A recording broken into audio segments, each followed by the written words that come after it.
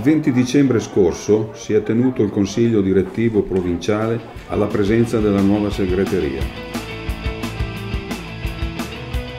La relazione è stata tenuta dal nuovo segretario coordinatore Mauro Scarin che ha proposto alcune modifiche alla struttura organizzativa interna del sindacato, ricevendo l'approvazione del direttivo provinciale.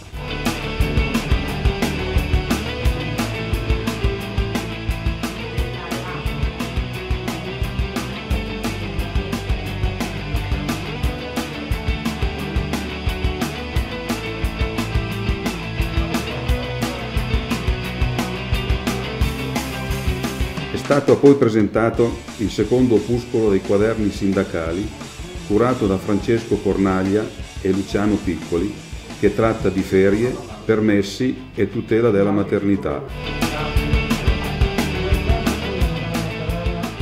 In conclusione sono seguiti i consueti auguri di buone feste.